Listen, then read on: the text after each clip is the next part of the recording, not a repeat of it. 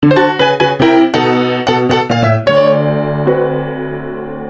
い。皆さん、こんにちは。小山翔平ベースボールチャンネルです。今日はですね、まあ少し試合がないというところで、久しぶりにね、コメント返しをしていきたいと思います。まあ何度かやらさせていただいたことあるんですが、やはりあの時って、まあチームの状態が良くなかったんですね。で、今、ジャイアンツっていうのはすごく調子が良くて、まあ首位を走ってるわけですけども、まあ、そういったところで、まあ非常、に手のひら返しじゃないけども、まあ僕もそうなんだけどね、僕も負けてる時はクソクソ言ってるんで、えー皆さんにね、言うことはできないんですけども、ちょっとね、今のコメントっていうのはどういううコメントが多いのかというかね、えー、なんか賞賛というか、すごくこう褒めてるコメントが多いので、それをちょっとね、えーコメント返ししていきたいなというふうに思っております。じゃあですね、えーもう早速やっていきたいと思います。まずじゃあ、え1問目、いかせていただきます。えーここまで来ればもう優勝まっしぐらですよ。ね、小山さん、熱烈 G 党の皆さんというところで、まあもうこの方はですね、もう優勝を確信してるんじゃないかなというふうに思いますけども、まあ非常に、えー、まあジャイアンツの状態がいいですから、まあそういう気持ちもわからなくはないんですけども、やはりですね、まあ安倍監督がおっしゃる通り、まあ8月9月、まあここが一番結構しんどくて、一番大事な時期なんですね。だから、まあ今貯金11かな？っていうところで非常に調子はいいんだけども、まあ実際そこまで開いてるかって言ったらゲーム差がね、そうではないので、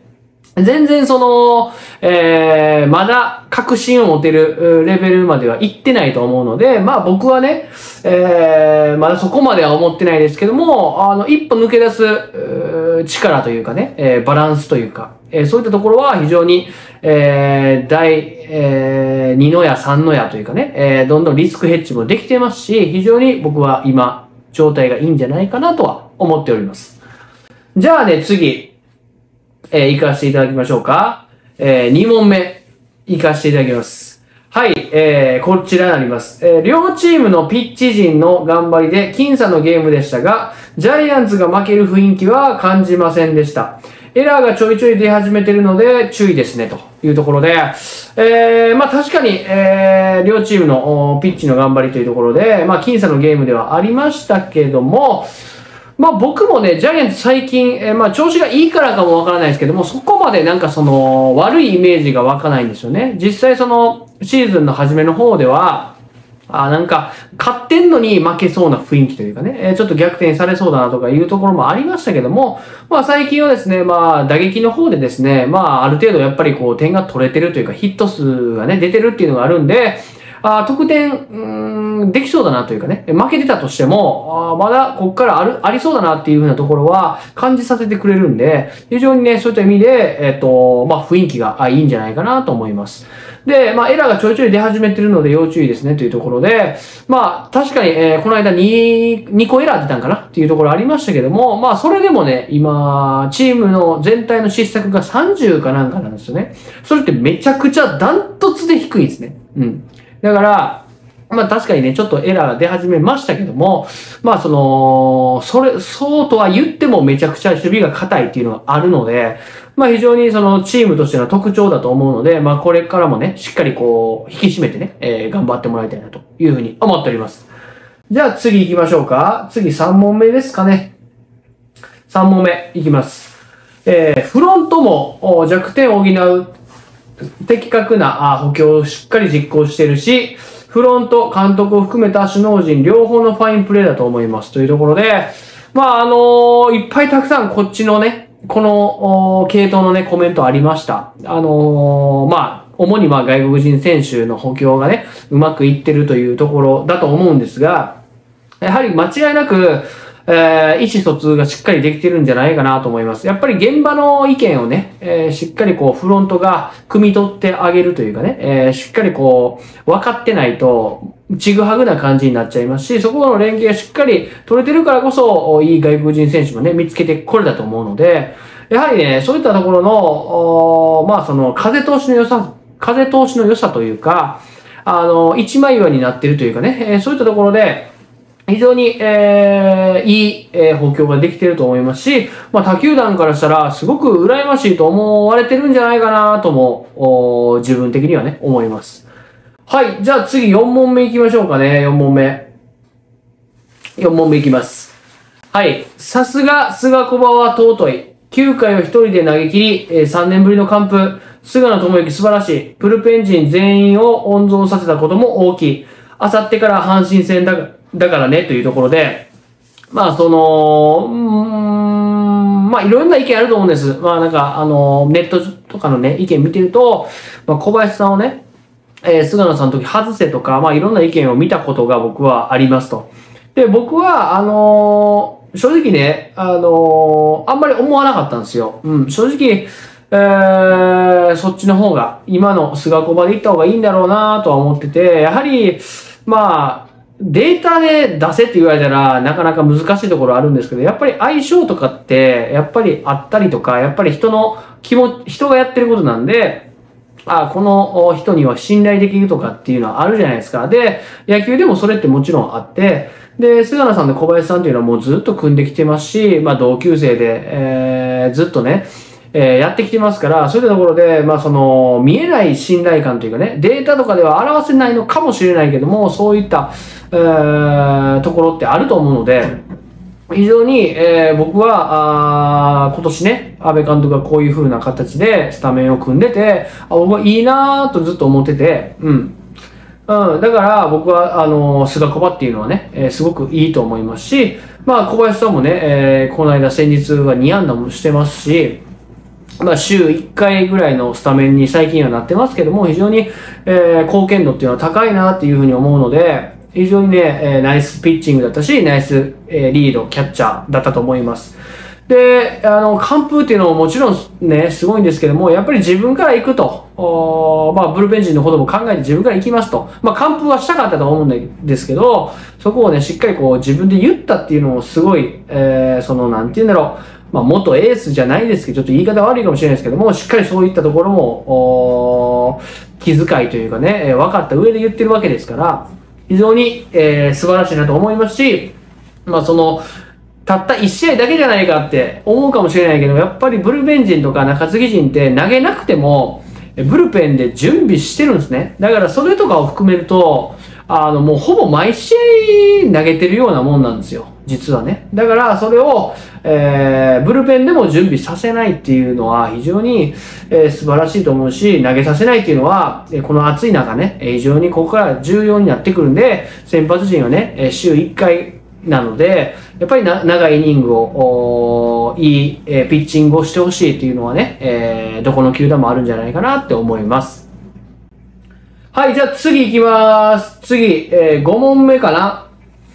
はい。えー、っと、これ面白いですね。5問目いきます。えー、外国人ガチャ成功しすぎだろ。さすがにずるすぎというところで、まあ先ほどもね、こっち系の質問ありましたけども、まあやはり、あの、他球団からしたらね、えー、すごく羨ましいんじゃないかっていうふうなことをね、僕言いましたけども、やっぱりそうでしたよね。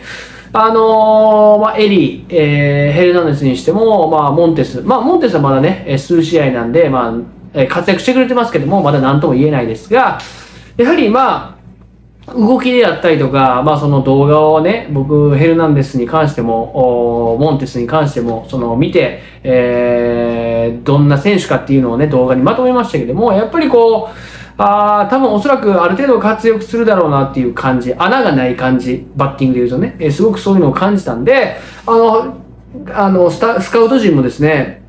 非常にそういったところを重視して取ってきてるんじゃないかなと思うし、まあ今までの外国人選手って、なんか当たれば、めちゃくちゃ飛びます、みたいな。うん。当たったらホームランです。でも、当たりませんみたいなことって結構多かったと思うんですけど、やはりそれじゃダメだなっていうところ多分あったと思うんで、ジャイアンツのね、フロントも。だから、まあその中距離ヒッターじゃないけども、そのアベレージヒッターじゃないけども、おまあ、アベレージヒッターって言っても外国人選手だから当たれば飛ぶよっていうところだと思うんですね。だから、まあ、エルナンデスに関しても、まあ、あの、モンテスに関しても、まあその、待ち方であったりとか考え方っていうのが非常にその日本寄りというか、日本人とすごく似てるっていうのがあるので、まあ成功する可能性が高いんじゃないかなとも思いますし、まあそこを含めてね、まあその試合を見ながらね、えー、あ、この選手はこういう感じだなとか、あこの選手はちょっと日本の野球に適応できるそうだなっていうふうなところを、まあしっかりスカウティングできているっていうところは、まあジャイアンツのね、えー、まあフロント含めて、え非常に優秀じゃないかなというふうに思います。はい、じゃあ最後いきます。最後、6問目。はい、6問目いきます。はい、この暑さの中、完封してくれた菅野には頭が下がります。リリーフ陣にはいい休養になったことでしょう。モンテスのショートのテストも完了。坂本もマルチヒット。甲子園で勝ち越せば、首位争いから一歩抜け出せそうですねっていうところです。はい。で、やっぱり先ほどの方も言ってましたけども、まあ、菅野さんね、えー、完封っていうのはすごくありがたいと。おそれは一緒ですよと。